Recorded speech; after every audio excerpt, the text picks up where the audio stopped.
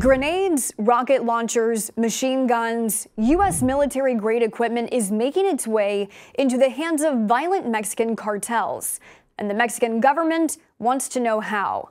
Mexico is pushing the U.S. to investigate and stem the flow of its military grade weapons, items never designed for civilian use, into the hands of Mexican drug cartels. Mexico's top diplomat announced the latest alarming findings, saying the government had found weapons entering her country that are for the exclusive use of the U.S. Army. Some traffickers have even gone so far as to share images of the weaponry on social media.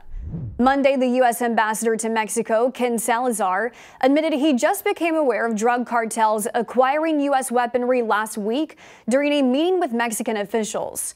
But he now vows it's a priority of the Biden administration to curb the illegal transfer of U.S. military equipment to smugglers.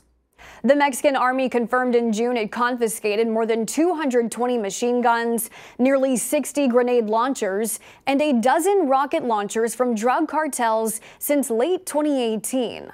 Part of solving the problem is figuring out where the U.S. arms came from in the first place. There are several theories on how they ended up in Mexico, from leftover weaponry due to U.S. armed conflicts in Central America in the 80s, to weapons manufacturers reportedly selling their devices on the black market.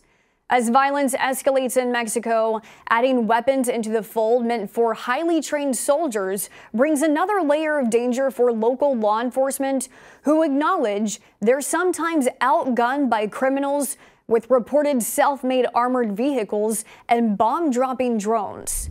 While U.S. military equipment seizures are a freshly announced development, Mexico has long dealt with violence due to drug cartels and in many instances has blamed the U.S. for gun deaths, particularly U.S. gun manufacturers.